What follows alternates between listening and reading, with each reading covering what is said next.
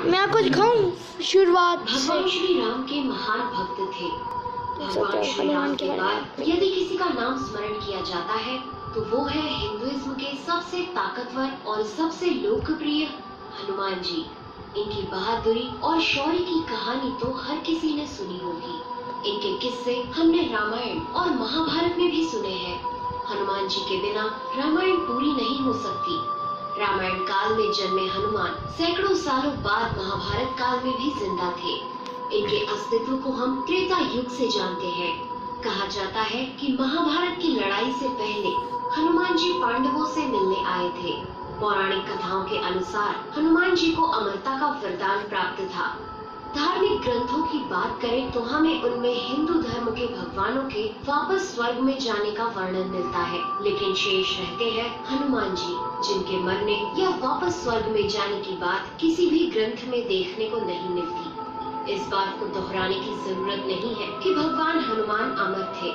कुछ महान लोगों ने उनके दर्शन करने की बात भी कही है, जिसमें ऋषि माधवाचार्य, तुलसीदास, स्वामी रामदास और राघवेंद्र स्वामी जैसे महापुरुष शामिल हैं।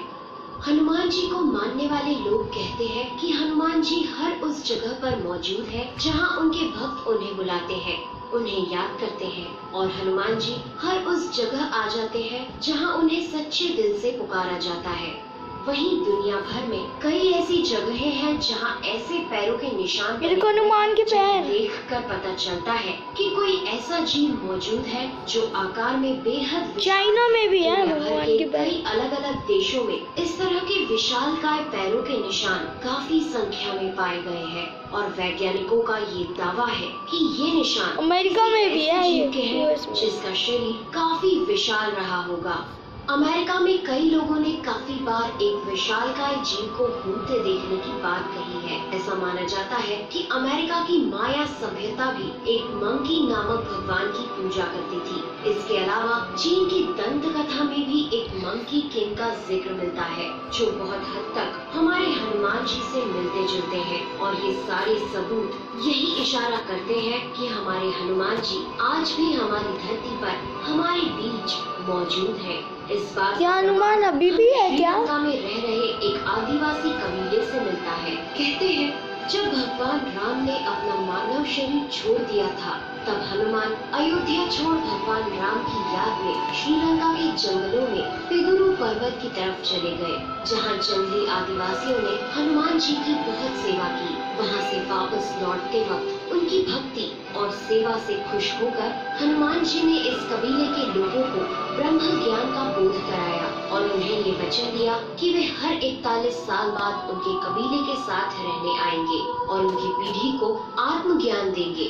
साथ ही हनुमान जी ने उन्हें एक मंत्र भी दिया काल तंतु कार्य थी एनर मृष्णु निर्मुक्तेर कालित्वम पर मुझे ये बोलनी आती नहीं है। देते हुए कहा कि जब भी तुम मेरे दर्शन करना चाहो तब ये मंत्र पढ़ना। मैं पलट झपकते ही आ जाऊँगा। पर उन कबीले वालों ने हनुमान जी से पूछा कि यदि ये मंत्र किसी और के हाथ लग गया और वो इसका गलत इस्तेमाल करने लगा हनुमान जी ने उनसे कहा कि ये मंत्र सिर्फ़ उस इंसान के लिए काम करेगा जिसको अपनी आत्मा का मुझसे जुड़े रहने का एहसास होगा। और जहाँ ये मंत्र पढ़ा जाएगा, वहाँ से 980 किलोमीटर तक ऐसा कोई भी इंसान नहीं होना चाहिए जो मुझमें सच्चा विश्वास न रखता हो। खैर मज़ेदार बात यह है कि ये जंगली आदिवासी समुदाय आज भी मौजूद है और श्रीलंका के जंगलों में बाहरी समाज से एकदम दूर है। इनका रहन सहन और पहनावा और भाषा भी प्रचलित भाषा से एकदम अलग है। सेतु संगठन के अनुसार इस कबीलाई या आदिवासी समूह को मातंग लोगों का समाज कहा जाता है। इस समुदाय पर लोगों का ध्यान तब गया जब सेतु नामक एक आध्यात्मिक संगठन ने इस आदिवासी समुदाय की कुछ अजीब गतिविधियों को नोटिस किया।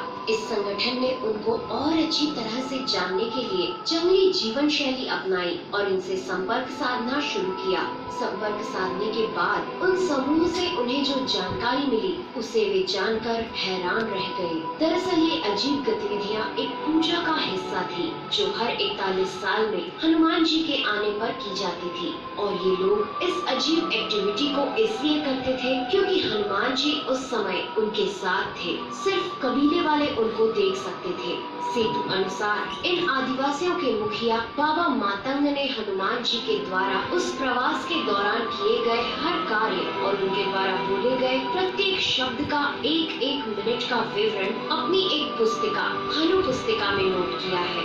हनु पुस्तिका के अनुसार, हनुमान जी 27 मई 2014 में कबीले वालों को आज्ञा देकर वहाँ से चले और इसके बाद ढूंढे। से इकतालीस साल बाद यानी कि खराब हो जाएगा ये पुस्तिका एशिया नाम के एक धार्मिक संगठन के पास है और वो लोग इस पुस्तक को पिदुरु पर्वत की तलहटी में स्थित अपने आश्रम में समझकर इसका आधुनिक भाषाओं में अनुवाद करने में जुटे हुए हैं, ताकि हनुमान जी के चिरंजीवी होने के रहस्य को जाना जा सके। लेकिन इन आदिवासियों की भाषा पेचीदा और हनुमान जी की लीलाएँ उससे भी पेचीदा होने के कारण इस पुस्तिका को समझने में काफ़ी समय लग रहा है। दोस्तों, आज के एपिसोड में बस इतना ही।